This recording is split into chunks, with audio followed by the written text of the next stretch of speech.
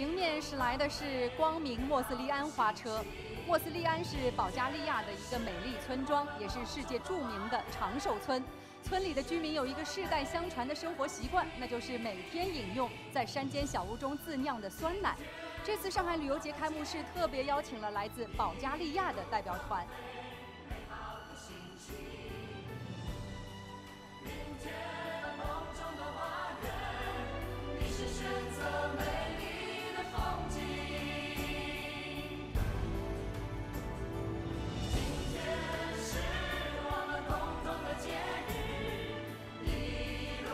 接下来您将看到的就是来自保加利亚索菲亚民间舞蹈团带来的表演。该团队成立于1983年，他们的舞蹈吸收了保加利亚传统文化的精髓，绚丽多彩的民族服装、优美典雅的舞蹈表演，将复杂的舞蹈动作和独特的民间音乐完美结合，